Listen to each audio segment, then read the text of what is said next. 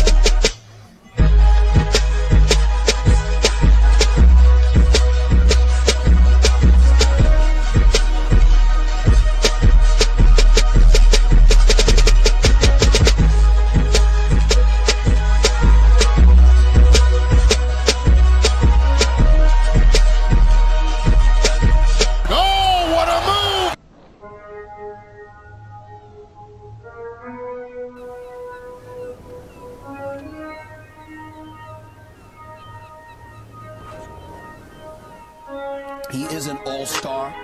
He is a big-time scorer. His step back J is deadly. I think he deserves to be ranked in the top 10 talent-wise.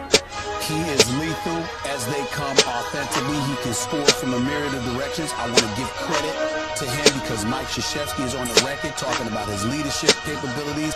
Something's cooking. Something is cooking.